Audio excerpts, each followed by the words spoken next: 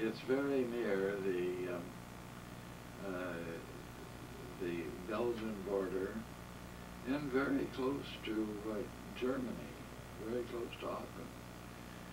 I cannot remember much about Normandy, excepting it was close to a huge cemetery that we had just opened up for the newly fallen because the fighting had become very intense around the Aachen area. And so there were acres of land that um, had been dug up, you know, for these individual graves. It was a sad thing to go through. Mhm.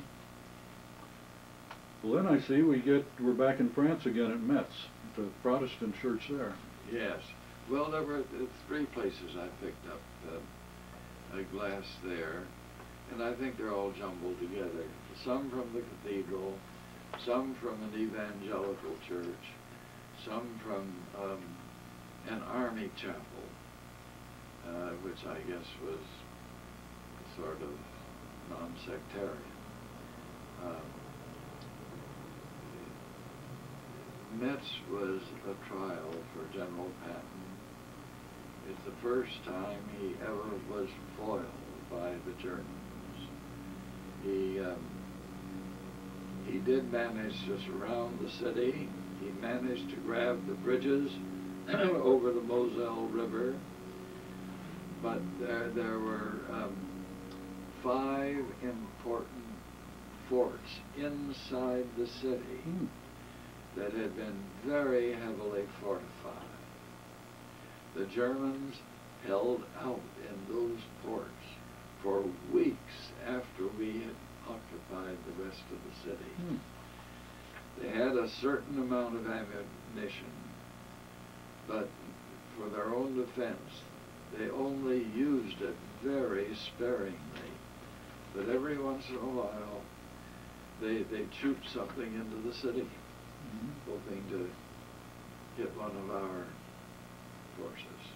Was that the place where there had been so many Nazi sympathizers also that, uh, Well, uh, yes, the, um, the Germans had held it from 1870 until 1918, or 1920, you might Mhm. say. And uh, so they, they brought in a great many of their own people. Mhm. Well, crossing into Belgium, I see that uh, you were at Malmedy. Yes, yes.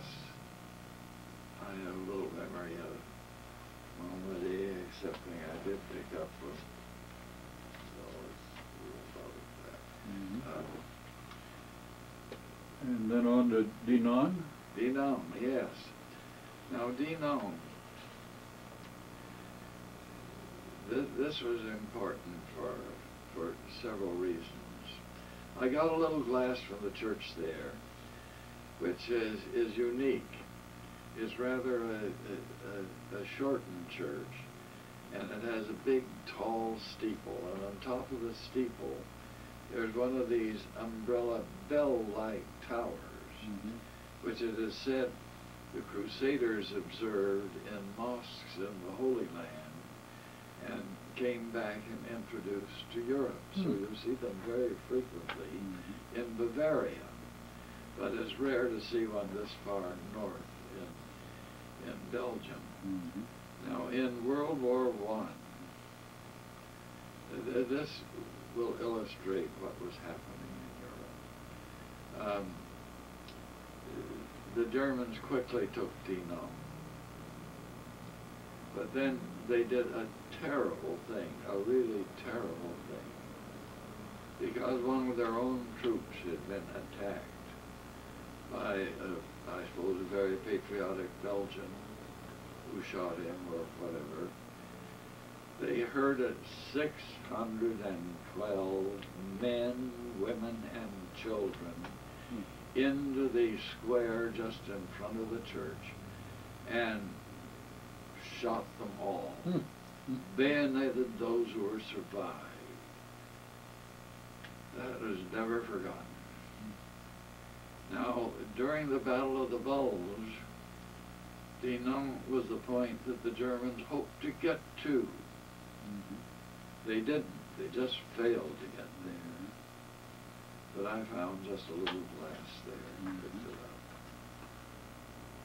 How about Saint Hubert then? Was that uh, the Hubert time? is near the Bulge. Um, I I went there when it was entirely undisturbed. I don't believe it was disturbed. But oh, it's such a beautiful church. It, um,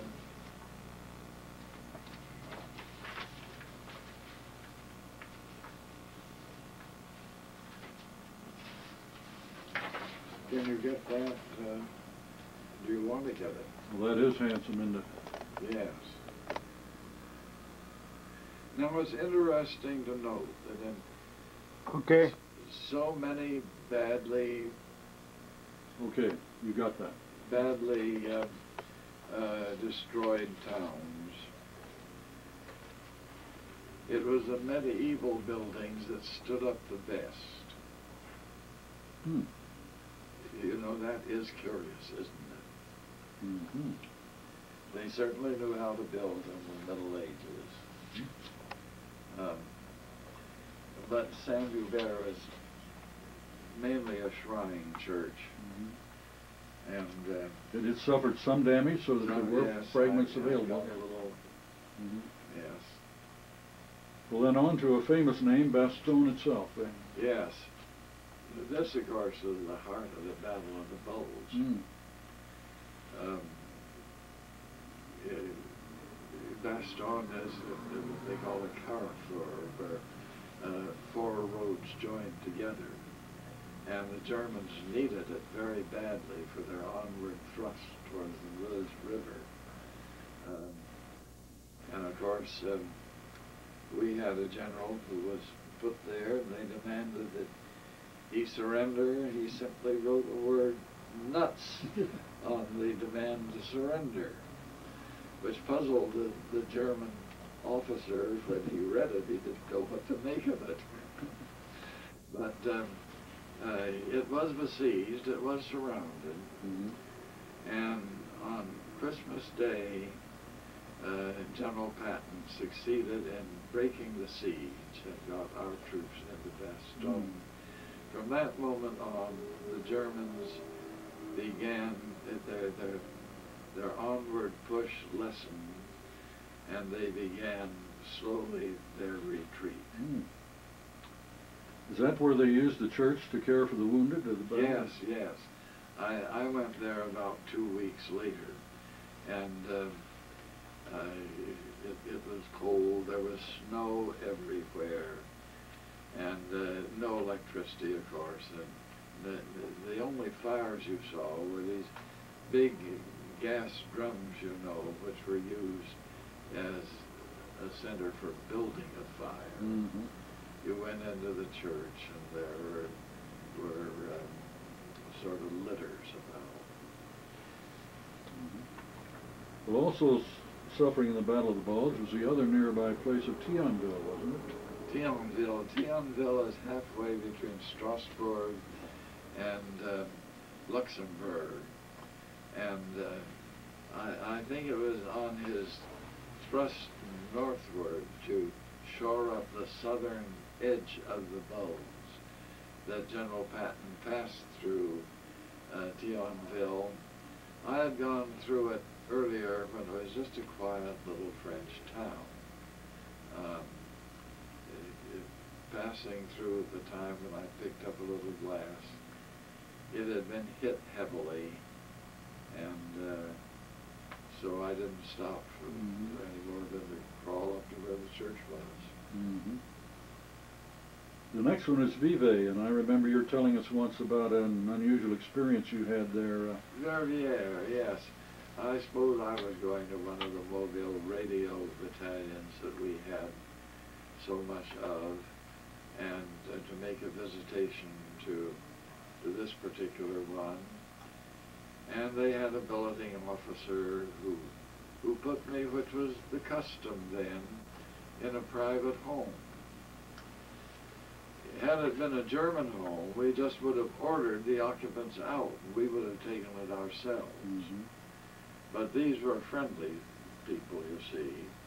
So they were invited to make their rooms available for a price, which the Army paid. Um, and so I went to this civilian family. I only remember there being a woman in the house. And she put me in a room which belonged to her son and he had been picked up off the streets of Verviers and taken to Germany as a slave laborer. Mm.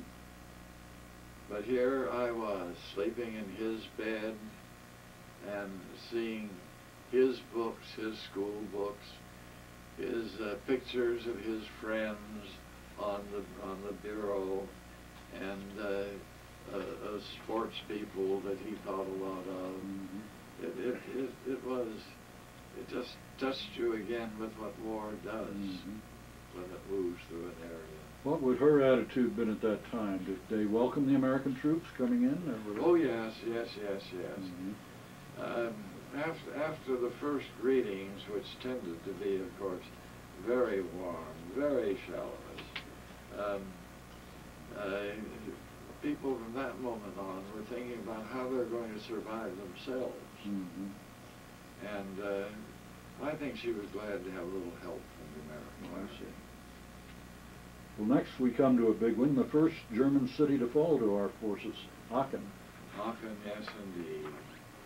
Yes. I, uh, it, it, it was the first, and it was the first because it was such a big city, uh, such a strange thing to go into a city where there aren't any roofs. Hmm. The roofs are all gone. And, uh, of course, there was a lot of rubble. And, uh, uh, I came up over a hill. The first thing I saw was a trolley car that had been damaged. It was just left sitting on its tracks. It, it, it, I suppose it had been there for, for weeks maybe. And ju- you just knew nobody was going to come and fix it up. It, uh, and then there was a, a newly built Roman Catholic church right alongside, the Church of the Holy Ghost. And I got some glass from there. Then we drove down to the very center of the city where there's the great cathedral where Charlemagne's body was buried. And I got a little glass there. Charlemagne, of course, I think we might say was the first European because he, he reached across to various tribes, to the Burgundians, the Huns, the, the a variety of tribes, united them under himself Mhm. and made Aachen really the first capital of Europe. Hmm. And, uh, but his body had been secreted away from the cathedral. Was it returned then after the war? Or? After the war, it was, but he, Charlemagne was regarded all over Europe as a saint because he had brought peace to Europe, a kind of peace, Mhm. and had established the Holy Roman Empire. Um, but his body was hidden away, and at the end of the war, the transportation officer in the Aachen area told a, a, a colored truck driver to go out and bring the body back. And he, now in, in any other age there would have been a great procession, you know. Kings and princes would have walked with the cortege. Sure. But this, this eager driver just went and got it, put it in the truck, came back and said, here's the corpse, what do I do with it? Well, on your way to Cologne, I see you visited that old Roman city of uh, Trier. Trier, yes, one one of the most important historic cities in all of Europe. Um, I drove over a, Roman bridge that had been built in Roman days, and which I think the Germans just couldn't bring themselves to destroy, and we mercifully didn't. And uh, into the city, which was one great pile of rubble. Strangely enough, there was a great gate to the old Roman city called the Black Gate, the Porta Nigra. And uh, that was intact. Hmm. It had lasted from Roman days, but nearly everything else in the uh, uh, area had been uh, uh, just blasted. Mhm. And uh, we drove through a, a narrow, uh, on a narrow lane that had been cleared rubbish Piled up on either side uh, until I got to the Liebfrau Kirche. Now, the Liebfrau Kirche, which means the Church of Our Beloved Lady, um, was um, one of those perfect Gothic churches, just like the, the photograph you saw of Saint Hubert. Mhm. Now I must show you.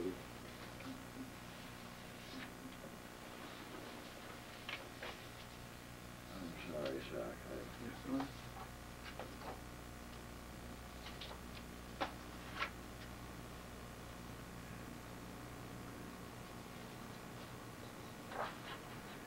Um, this is much too small for you. That shows the interior ruin. Uh, this, this shows um, myself inside the church. Oh, let's get that one.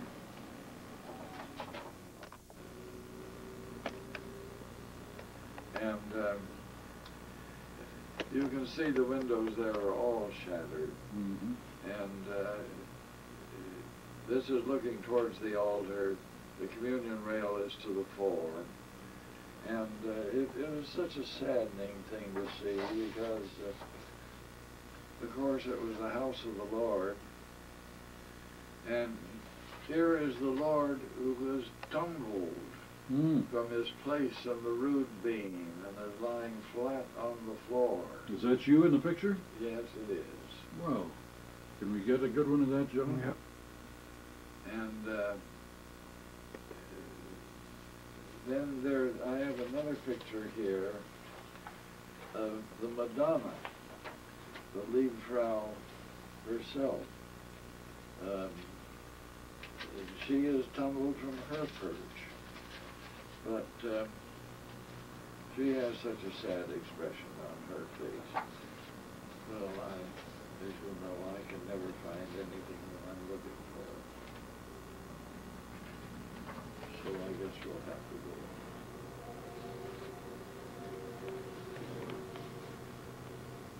Well, that brings us then to the famous uh, Cologne Cathedral, the one that was really a Yes. miracle. It's it was left standing in the middle of that terribly uh, damaged city. They, Yes, it was a city, it was, if Aachen was the first large city captured by the Allied side, Cologne was the first huge German city to be bombed in a massive way. I think it was in February of 1942 that 1,000 English bombers attacked Cologne. And they, it, it was the, the worst attack that the city ever had. A lot of incendiaries. were. Incendiaries were, were in with the bombs. And so the, the result was that the, the center of the city was, was turned into rubble and uh, fire smoked. Mhm. Um, And, but lone standing in the midst of all this debris was the cathedral, this cathedral that had been built. It's important to say, I think in the 13th century and in the 19th century, it, it, it was never completed until the 19th century, Hmm. when the Hohenzollerns, wanting to attach the Catholics of Germany more tightly to themselves, built the western facade of Cologne Cathedral. But here it was, it stood in the center of the city. Um, you might say a baked cathedral. Hmm. Uh, the, because of the terrible heat that had hit it all. Mhm. But the walls stood. Once again, you have to admire those builders of the Middle Ages Mm. who, who could build something to withstand what the 20th century put against them. Is it a typical Gothic cathedral with the flying buttresses and the yes, whole it bit? is. Yes, it is. Yes, Mhm. magnificent. Well, I see your itinerary takes you on to Wiesbaden then, and the Church of St. Augustine. Yes. Now this is um, this is just a few weeks later. Um,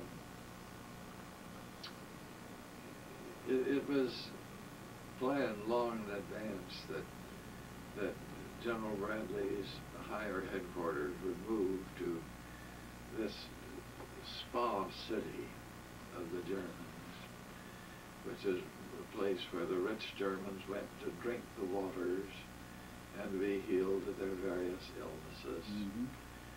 And uh, but the the British spoiled that because on the night of February first, second, nineteen forty-five, you see, um, they they made an attack on Wiesbaden, which really was not a military objective, excepting that a great many troops being relieved from fighting on the front were there for a period of rest. Mhm. Um, and one third of the city disappeared in 20 minutes of bombing. Now, uh, Wiesbaden, somewhat like Washington D.C. with its beltway, had one big road encircling the city. And there must have been seven or eight very prominent churches spread at different points around this ring road. And they were all hit and badly damaged, excepting one, the Bergkirche, which we later on used for some. No, we didn't use it. But I was looking up an Anglican church there. I thought, now we'll have one of our own churches we can use. Mhm. So I went with an, with an engineer officer to, to look at it. And we saw that the front was all boarded up. But we were able to go through the tower entrance, uh, pushing a doorway to one side. And we found lots of debris inside, and the engineer said, Chaplain, put your helmet back on your head, because the roof may fall on us any Mm. minute, or something from the roof. Mhm. And so we couldn't use it. Instead, I used the casino, which was the biggest building in the city or for miles around. A huge affair. And I used the Symphony Hall for our main services. Mm. But for smaller services, I use the reading room. Mhm. And uh, I don't know if it's necessary to tell you this, but I, I will because you know, it was curious. The clergyman is supposed to preach. He's expected to direct your mind to, to higher things. But I hadn't figured that the higher things were up there in the roof of this reading room. and they were the goddesses of ancient Greece, practically unclothed. So while I was trying to fix my eyes in the congregation, the congregation was looking up. Is that where the Russian chapel was also in yes, Lyme? yes. Uh, a, a very touching thing. One bomb fell nearby it and damaged the house of the priest, an aged Russian priest. I went to it, and because I've always liked the Orthodox, particularly attracted to them, and because um, uh, I like the Orthodox liturgy and such, I called at the house and found out that the poor old man was in the hospital. And so I went down and called on him. And the instance I introduced myself to him, he said, You've seen me before. Well, I, of course, was astonished. And uh, he said, Yes, you've seen my picture in the newspapers. And he was right. Hmm. He was a great friend of the, the royalty in Bulgaria. Mhm. And he had, he had flown to Detroit to an Orthodox church in Detroit to solemnize the marriage of Princess Kira, connected with the Romanov family, Hmm. to a grandson of Kaiser Wilhelm II. Hmm. So he was right. I had seen him before. Fred, how do you remember all these names and people and places? That's phenomenal. It really is. Well, these were interesting things, I thought. Mm-hmm. So you do remember what you think is interesting. I guess so. Well, we're getting almost through Germany, but I see Frankfurt. Is it next? Frankfurt, yes. The um, Frankfurt, of course, is very badly bombed.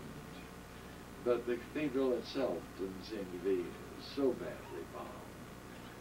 I walked in, everything was silent as things usually were at that time.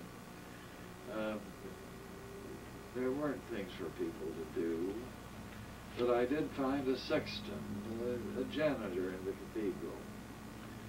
And he took me into the sacristy and asked me if I would like to see the scalp of Saint Bartholomew. Well, naturally, I had a certain curiosity. I'd never even seen any one of the twelve apostles. Yeah. Here was a chance, so I said yes. He went to a drawer and pulled it out, and all I can tell you is if that really was the scalp of St. Bartholomew, he had a very heavy head of yellowish gray hair. Nuremberg. Nuremberg.